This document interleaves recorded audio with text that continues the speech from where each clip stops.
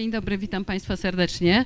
Za chwilę będzie cieka- projekcja ciekawego filmu, którego akcja dzieje się na Węgrzech. Żeby tam dojechać, musimy pokonać odpowiednią drogę i żeby w czasie tej drogi być zabezpieczonym przed wszystkimi sytuacjami, które mogą nas spotkać, chciałam Państwu uświadomić i przekonać, że na każdy wyjazd za granicę, jeżeli się gdzieś udajemy, powinniśmy mieć y, ubezpieczenie.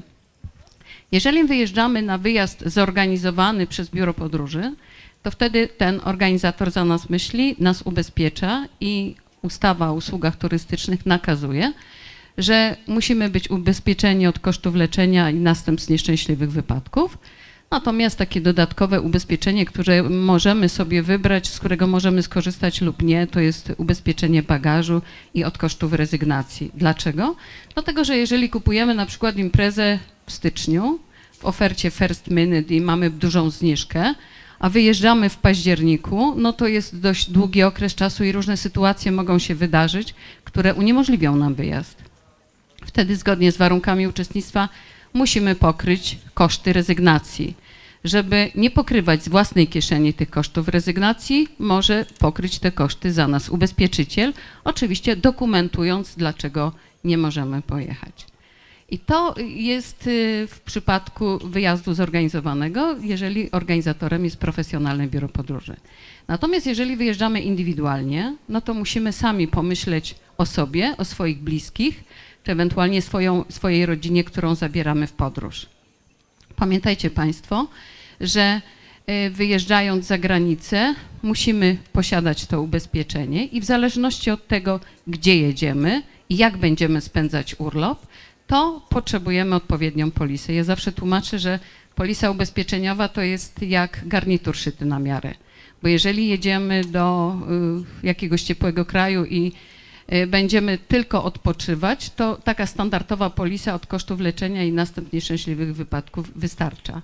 Natomiast jeżeli mm, pragniemy uprawiać y, jakieś sporty, no to wtedy ta polisa musi być rozszerzona właśnie o uprawianie sportów. Jeżeli to jest amatorskie uprawianie sportów, no to właściwie ta podstawowa polisa nam wystarczy. Natomiast jeżeli e, chcemy nurkować, no to jest to sport ekstremalny i wtedy nasza polisa musi być rozszerzona o dodatkowe ubezpieczenie z tytułu właśnie uprawiania tego sportu.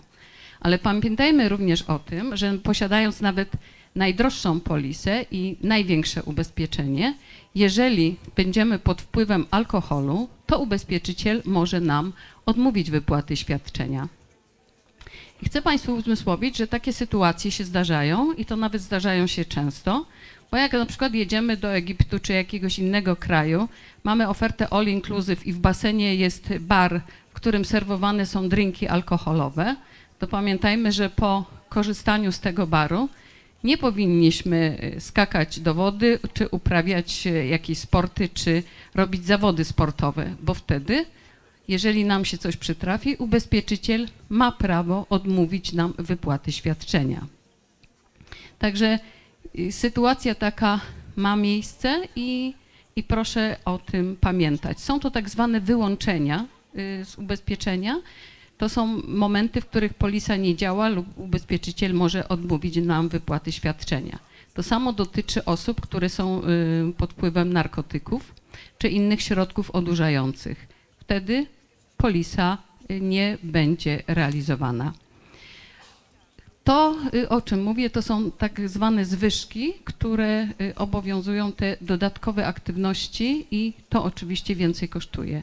Ile kosztuje polisa? Zawsze są takie zadawane pytania. Otóż polisa w zależności od wieku. Im ktoś jest młodszy, to polisa jest tańsza.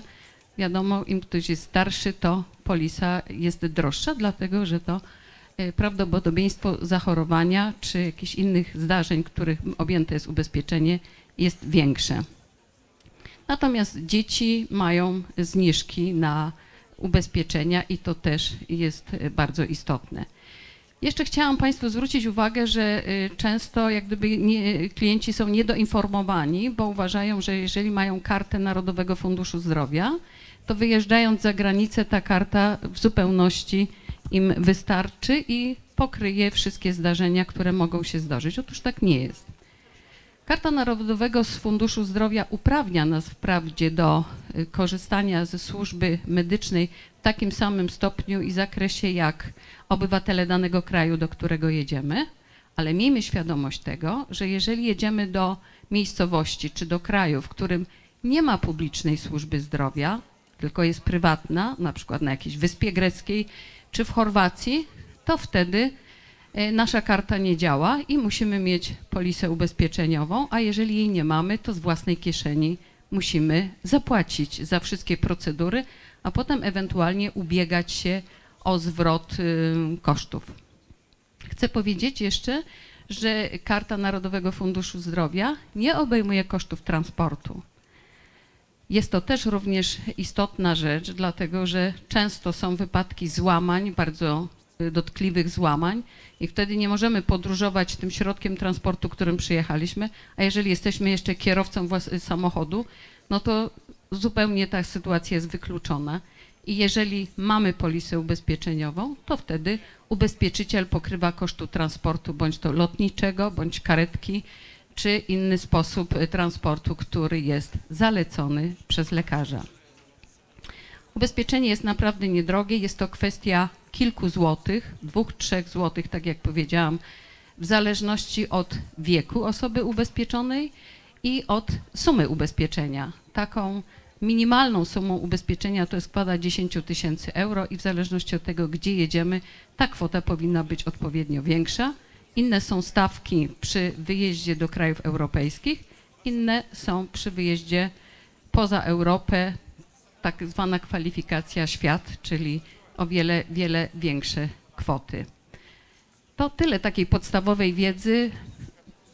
Jeszcze raz Państwa zachęcam do korzystania z pośrednictwa agencji turystycznych, w których każdej jest agencja, która zajmuje się sprzedażą polis ubezpieczeniowych bądź towarzystwa ubezpieczeniowego. Ewentualnie możemy sobie kupić taką polisę przez internet. Koszty związane z opłatą za tą polisę są zawsze jednakowe. Dziękuję Państwu bardzo i życzę miłego wieczoru. Dziękuję.